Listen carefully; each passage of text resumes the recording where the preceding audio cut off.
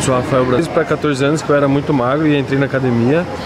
E aí eu me apaixonei pela musculação. É uma vida que todos os seus minutos são contados, tudo que você vai fazer no seu dia, a hora que você vai dormir. Então é uma vida que você tem que amar de verdade. Eu amo o que eu faço, então toda essa, essa rotina para mim, de treino, dieta, e todo dia comer no mesmo horário, todo dia comer a mesma refeição, todo dia treinar no mesmo horário. Você precisa ter as pessoas do seu lado te apoiando, principalmente seus familiares, para que tudo corra. Os outros atletas, beleza. Se não for, eu ainda tenho que continuar trabalhando para ser o melhor de todos os atletas. Mas assim, não, não tem rivalidade.